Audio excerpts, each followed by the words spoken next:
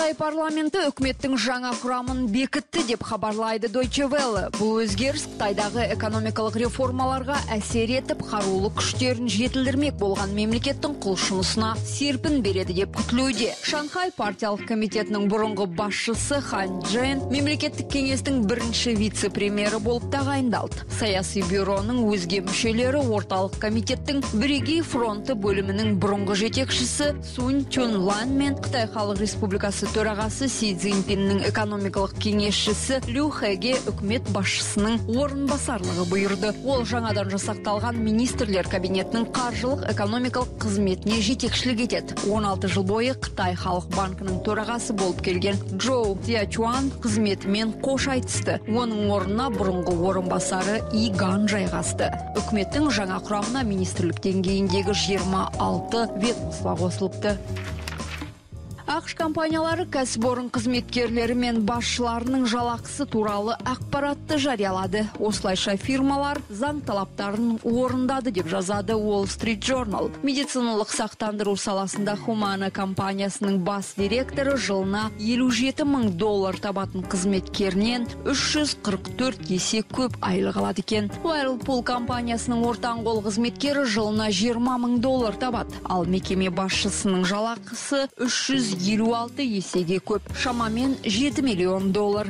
марафон петролиум мұнай компаниясындағы айлықтың айырмашылығы жер мен көктей он тоғыз бүтін оннан жеті миллион доллар жалақысы бар мекеме директоры қызметкерлерінен тоғыз жүз отыз бес есе көп жалақы алады компаниялардың көбі өз қызметкерлерін ірі актив деп санайды бірақ инвесторлар жалақы секілді маңызды мәселеге мән бере бермейді неге ақштағы инвестициялық кеңсе директорының орынбасары брендон рис өз түсінбестігін осылай жеткізіпті. Оның сөзінше жалақы арасындағы айырмашылықты инвесторлар ескеруі керек. Жаңа тәртіпке сай төрт мыңға тарта кәсіпорынның елуден астамы осы санатқа енгізіліпті.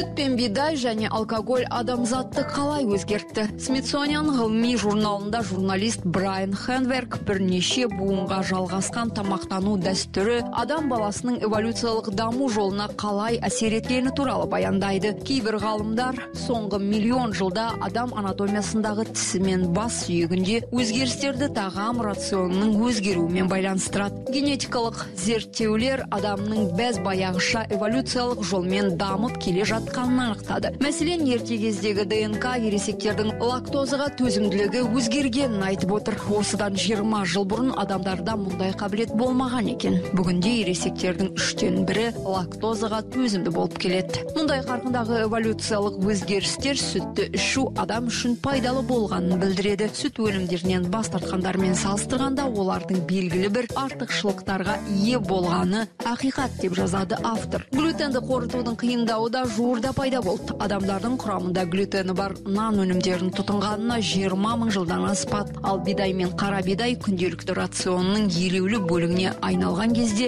целиакия ауруы шықты. Бүгінде дүкендерден клейковинасы жоқ өнімдерді табуға болады. Ал жапондар қытайлар мен корейлердің үштен бірінде арақ ішкен кезде терісі қызарып кетеді екен. Өйткені метаболизм процесі кезінде ацетальдегид токсинді ферменті шектен тыс көп мөлшерде бөлінетін көрінеді. Генетикалық зерттеулер мұндай реакцияның соңғы жиырма мың жылда пайда болғанын анықтапты копенгагенде жасанды арал пайда болды. Дизин басылымы австралиялық сәулетші маршал блетчер данияның фокстрот деп аталатын дизайнерлік студиясымен бірлесе жасаған жобасы туралы жазыпты. Копенгаген айлағындағы жүзбелі аралдың аумағы 20 шаршы метрді құрайды. Ағаш платформаға жалғыз түп жөке ағашы отырғызылыпты. Каякпен жүзіп келген кездерге ұйымдастырушылар осы жерде демалуды ұсынады менің туған қалам сиднейде көз тартатын көрікті әрі үлкен айлақ бой көтерді. Бірақ бұл жерде сәулетті үйлер мен қолданылмай бос тұратын ақ шаңқан яхталардан көз тұнады мұндай жобалар арқылы айлақты барынша қолжетімді қылуға болады дейді маршал блечер